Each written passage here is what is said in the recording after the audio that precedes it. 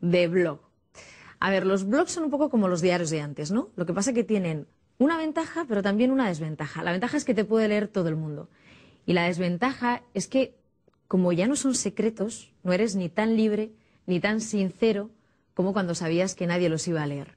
¿Por qué escribimos un blog?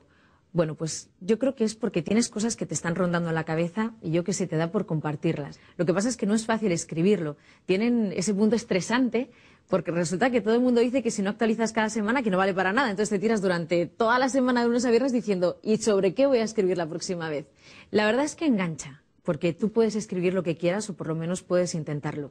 Si te apetece escribir un blog, tienes que entrar, apunta a estas páginas, en Blogger o en WordPress y ahí te explican paso a paso cómo abrirte uno. Luego hay una pregunta que también te hace mucha gente. A ver, ¿cuál es la diferencia entre un blog y una bitácora? Pues, bueno, probablemente ninguna. Lo que pasa es que bitácora es el término en castellano, en español, y el blog se lo hemos robado a los ingleses. A mí he de reconocer que me gusta mucho el mundo blog, pero también confieso que me hice bloguera por esto que se llama Beers Blog. Ya sabes, lo de irse de cañas y bitácoras.